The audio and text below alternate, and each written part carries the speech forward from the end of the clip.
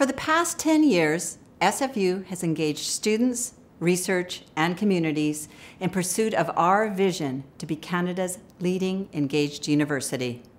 But the world is a lot different now than it was in 2012 when that vision was established.